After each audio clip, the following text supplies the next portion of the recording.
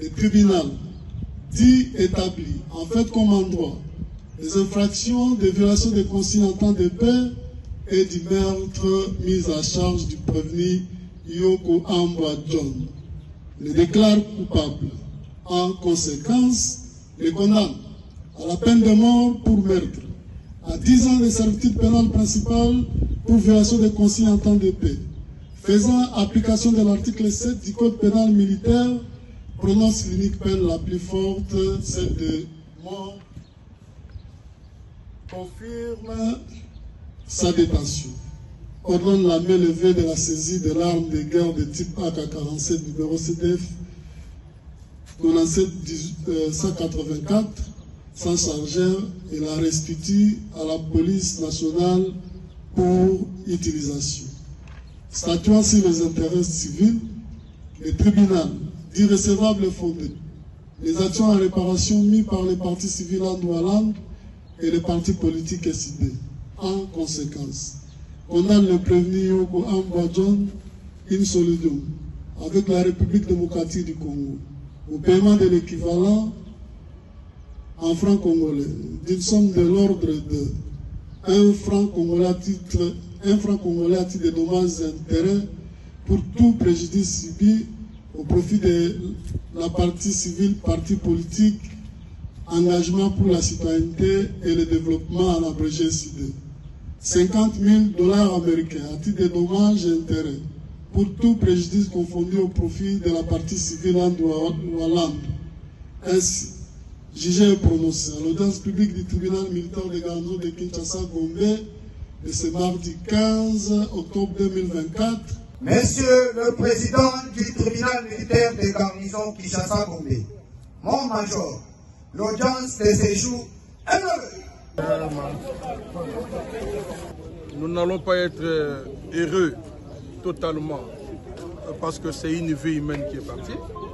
Sinon, par rapport au verdict qui est tombé, nous ne pouvons que être satisfaits de ces jours. C'est vrai que les prévenus disposent du droit de recours. Nous serons toujours là, mais nous sommes confiants qu'il sera toujours condamné à quelque niveau que ce soit. Et voilà pourquoi nous allons demander à tous les militants de décider d'être calmes et de suivre à la loupe le processus de ce procès de Manzanza pour que aucun policier, aucun militaire ne puisse utiliser abusivement son arme pour tuer et traquer la population. C'est une grande leçon les hommes en uniforme. Je tiens d'abord sincèrement au fond de mon cœur et au nom de notre parti politique l'engagement pour la citoyenneté et le développement. Au nom du président élu Martin Foyou, je tiens à remercier sincèrement le secrétaire national de l'ECD en charge de la justice et des droits humains, Maître Clément Moussa, qui est à ma droite. Je le remercie et à travers lui toute la cellule juridique de notre parti. Ils ont conduit de main de maître ce procès avec beaucoup d'abnégation et de manière volontaire.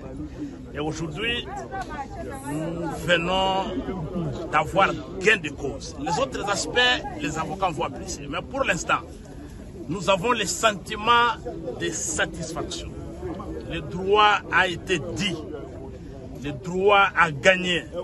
Et nous remercions aussi le tribunal pour l'objectivité, l'impartialité dans ces jugements. Ils ont dit le droit. C'est aussi un message aux policiers. La police nationale a pour mission de sécuriser les personnes et leurs biens. La mission de la police, c'est d'assurer et de protéger l'intérêt général, sans discrimination des partis politiques, des religions, des tribus. C'est aussi une leçon pour les policiers que quand vous êtes en mission pour protéger, pour protéger les citoyens, vous devez le faire de manière loyale à la République. Et quand vous commettez les bêtises, vous ne serez pas protégé. Devant la loi, vous n'avez plus un chef qui vous donne les ordres. Devant les juges, vous n'avez plus un commandant, un, un, un, colonel, un général qui va vous appuyer. Vous serez seul devant la loi. Et vous allez subir seul la, la sentence conformément à la loi. Ce qui nous reste maintenant en tant que parti politique, avec euh, notre cellule juridique, nous allons veiller, nous allons surveiller pour que cette peine soit exécutée. Nous n'allons pas tolérer les manœuvres tendant à gagner le temps et à soustraire ces délinquants